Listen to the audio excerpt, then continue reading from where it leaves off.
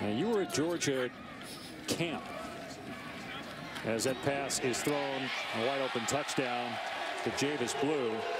But just to finish up that point, you were at camp, and I know there are some things you saw defensively that concern you about Georgia. They've been able to mask a lot of that until last week uh, uh against Florida. Yeah, it was really the secondary. You know, I mean, and I talked with Jeremy Pruitt at camp, and uh, his his concern was the secondary. Didn't have a whole lot of experience back there. He's been a part of some really phenomenal secondaries, as you mentioned, Alabama and Florida State, with the talent level that they had at those two schools. They don't have that talent here at Georgia. And then on top of that, you try to teach a new system, a system that's pretty complicated in how you're matching different routes and, and playing that, that style of defense that Nick Saban likes to play.